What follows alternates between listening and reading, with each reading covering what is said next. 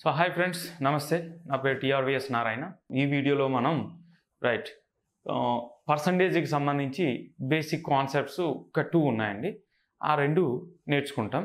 ఇంతకుముందు వీడియోలో మనం రెసిప్రోకల్ వాల్యూస్ లేదా పర్సంటేజ్ ఈక్వాలెన్స్ రేషియోస్ అనేవి నేర్చుకున్నామండి. వాటిని మిమ్మల్ని మీకు బైహార్ట్ చేయమని చెప్పాను. వాటి యొక్క ఉపయోగం క్యాలిక్యులేషన్స్ చేసేటప్పుడు వాటి యొక్క ఉపయోగం చాలా ఎక్కువ ఉంటుంది. వాటిని మీరు బైహార్ట్ చేయండి. తర్వాత ఏంటంటే పర్సంటేజ్కి సంబంధించి ఒక టూ కాన్సెప్ట్స్ అనేవి ఉన్నాయి. సో వాటిని నేర్చుకుందామండి. రైట్ ఇక్కడ పర్సంటేజ్కి సంబంధించి మనకి రెండు విషయాలు ఉంటాయి. సో ఒకటి concept one what is x percentage of y రెండవది కాన్సెప్ట్ టూ ఏంటంటే what is what percentage what percentage is x of y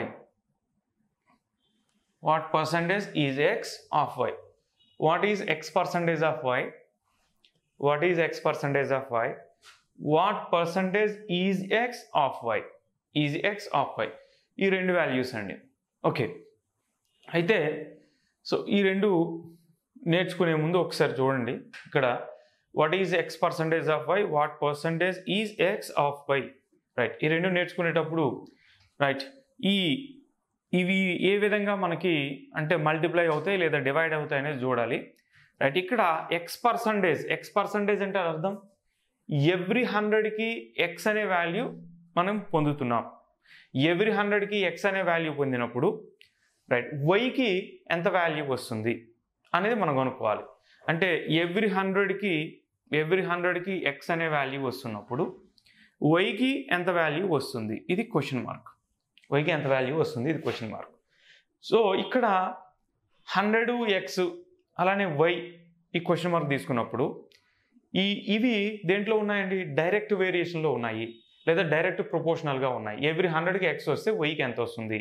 right direct ప్రొపోర్షనల్లో ఉన్నాయి లేదా డైరెక్ట్ వేరియేషన్లో ఉన్నాయి.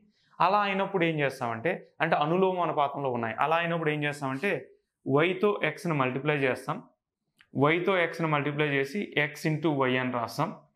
డివైడెడ్ బై రైట్ హండ్రెడ్తో ఏం చేస్తామండి? హండ్రెడ్తో డివైడ్ చేస్తాం. అంటే ఎక్స్ వై బై హండ్రెడ్ అని వస్తుంది. ఇక్కడ వై అనేది ఏమైంది? మల్టిప్లై అయింది ఎవ్రీ హండ్రెడ్కి ఎక్స్ వచ్చినప్పుడు వై ఎంత అని అడుగుతున్నాం. రైట్ వై వాల్యూ ఎంత? రైట్ హండ్రెడ్కి ఎక్స్కి ఉన్న రిలేషన్ ఏంటంటే డైరెక్ట్ వేరియేషన్ లేదా డైరెక్ట్ ప్రొపోర్షనాలిటీ అంటారు. అనులోమానుపాతంలో ఉన్నాయి. అంటే హండ్రెడ్ పెరిగితే ఎక్స్ పెరుగుతుంది. మరి హండ్రెడ్ వై అయినప్పుడు ఎంత అవుతుంది? అంటే క్రాస్ మల్టిప్లై చేయాలి. డైరెక్ట్ ప్రొపోర్షనాలిటీ ఉన్నప్పుడు క్రాస్ మల్టిప్లై చేయాలి. రైట్ సో కాబట్టి what is X percentage of Y అంటే ఏమొస్తుంది? ఆ వాట్ అనేది ఇక్కడ క్వశ్చన్ మార్క్ కాబట్టి ఏమొస్తుందండి?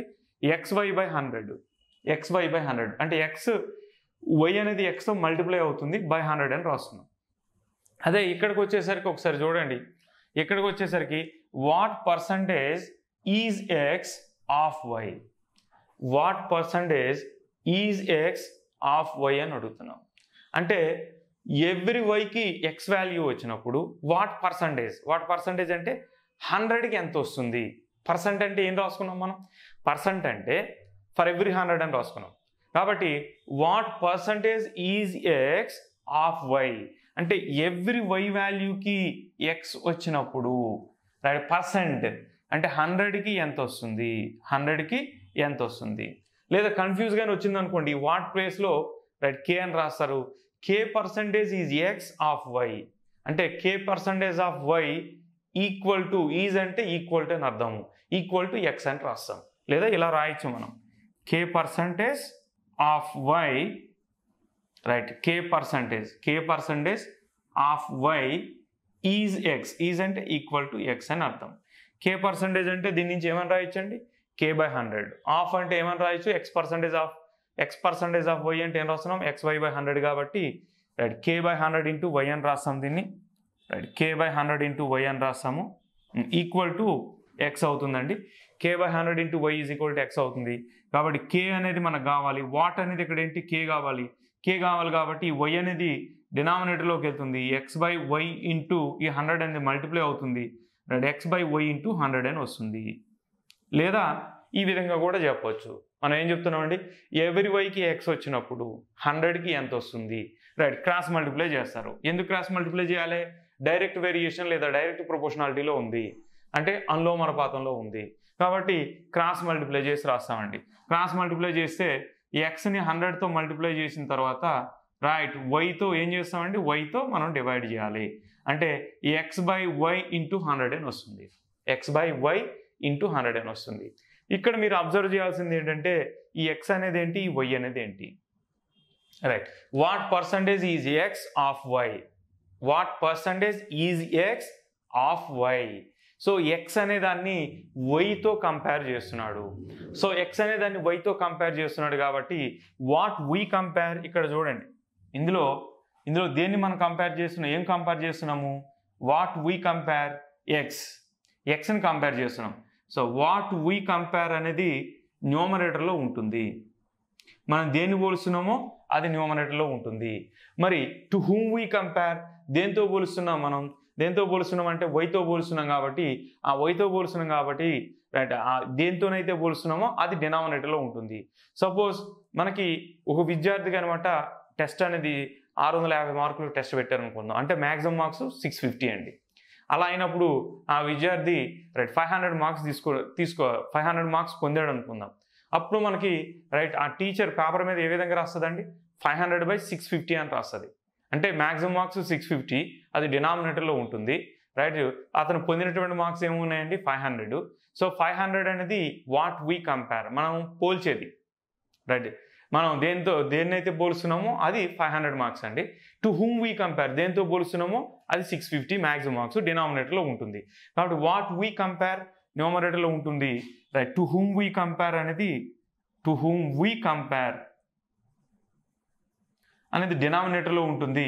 రైట్ ఇంటూ హండ్రెడ్ అండి. ఇంటూ హండ్రెడ్ సో ఇది మనం తీసుకునేది. వాట్ వీ కంపేర్ అనేది న్యూమరేటర్లో ఉంటుంది. దేన్నైతే కంపేర్ చేసినాం అది న్యూమరేటర్లో ఉంటుంది. దేంతో కంపేర్ చేసినాం అది డినామినేటర్లో ఉంటుంది. ఇంటూ హండ్రెడ్గా రాస్తాం. ఇంటూ హండ్రెడ్ అని రాస్తాం. అయితే కొన్నిసార్లు ఇది చేసేటప్పుడు కన్ఫ్యూజ్ అనేది లేకుండా ఉండడం కోసం what percentage is x of y అంటే ఆఫ్ వాల్యూ అనేది సాధారణంగా డినామినేటర్లో రాయమని చెప్తాం. అంటే కొండ గుర్తుగా గుర్తుపెట్టుకోవడం కోసం డినామినేటర్లో రాయమంటాం. ఈజ్ వాల్యూ ఏదైనా సరే న్యూమరేటర్లో రాయమంటాం.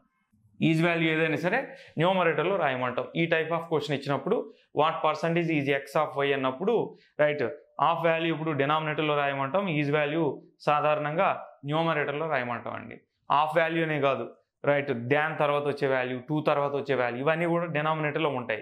అవన్నీ కూడా ఏంటంటే మనం టు హూమ్ వీ కంపేర్ అంటే దేంతో కంపేర్ చేస్తున్నామో దేంతో పోలుస్తున్నామో దానికి సంబంధించినటువంటి విలువలు అండి అవి. సో అవన్నీ కూడా ఎక్కడ ఉంటాయి? న్యూమర్ డినామినేటర్లో ఉంటాయి.